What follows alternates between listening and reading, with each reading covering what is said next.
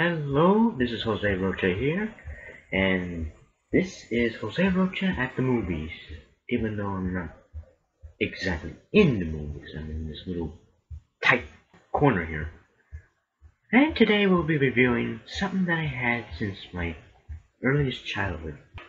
This is Cartoons Are Fun. Now if you don't know what this is, I'll just give you a little bit of a history. Cartoons Are Fun was actually a a cartoon series where they would just have they would just have public domain cartoons. This went on throughout the late 80s and throughout the 90s.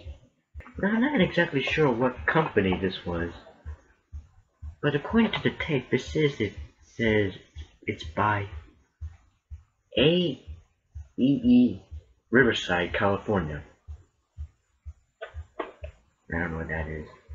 And you can see here. Well, if you guys are wondering what this uh, string is doing on this tape, well, it's just my tape player is kind of broken. It doesn't reject the tape, so I actually had to use the string to just gently pull it out so it can give it a boost. Now, this is not my only Cartoons Are Fun tape.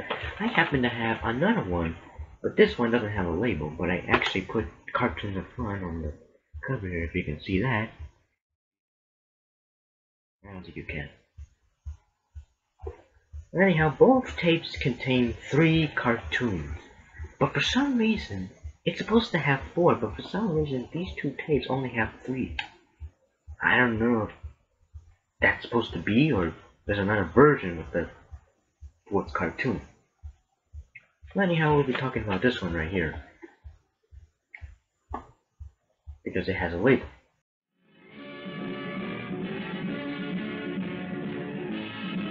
Now the first cartoon contains actually a Bugs Bunny cartoon, Fresh Hare, which surprisingly is one of my first Bugs Bunny cartoons.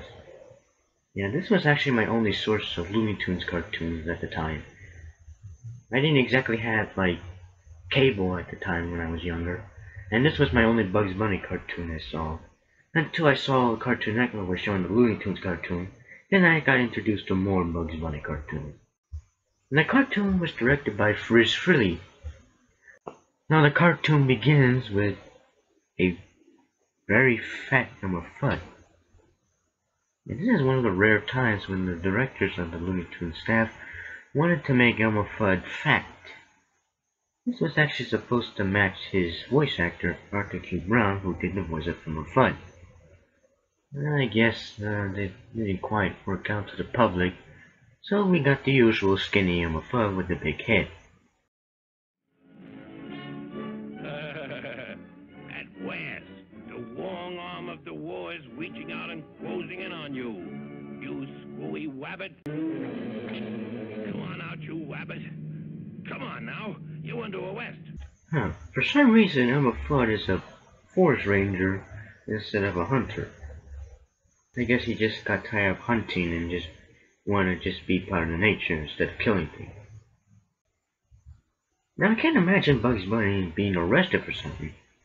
What do you suppose he did? Listen to this. Resisting an officer, assault and battery, trespassing, disturbing the peace, miscellaneous misdemeanors, public nuisance, traffic violations, going through a boulevard stop, jaywalking, triple parking, conduct unbecoming to a wabbit, nice looking chapo, oh, violating traffic regulations. Oh, so he did all that?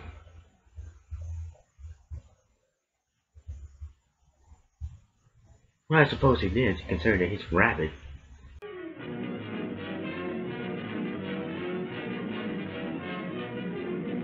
And the whole cartoon is nothing but Elmer Fudd chasing Bugs Bunny order to arrest him. It's pretty much your standard classic Looney Tunes style of comedy.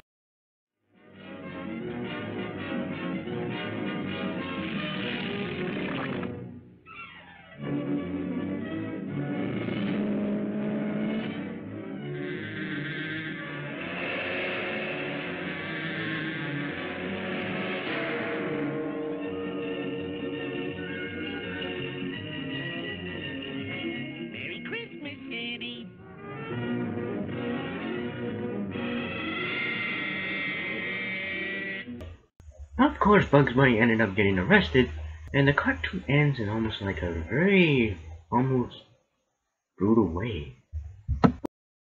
I wonder what they're gonna do next for this ending.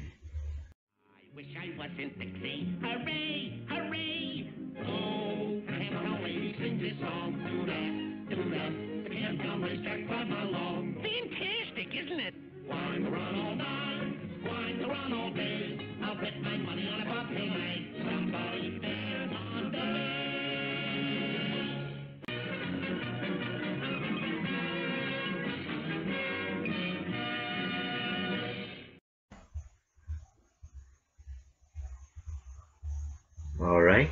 just ended on a blackface joke. This is pretty much your classic Elmer Fudd and Bugs Bunny cartoon where usually Elmer Fudd is capturing Bugs Bunny, even though he's not a hunter. And that's pretty much all I have to say about Fresh Hare, one of the very first Bugs Bunny cartoons that I saw. Well, that's pretty much it for this review. See you next time in the next Jose Rocha and the movies. Hey Leroy, do you suppose I should get a new chair for this? Yeah, seriously, people. This is just a patio chair. Not very comfortable. Leroy, when do you think you're going to get me a new chair here?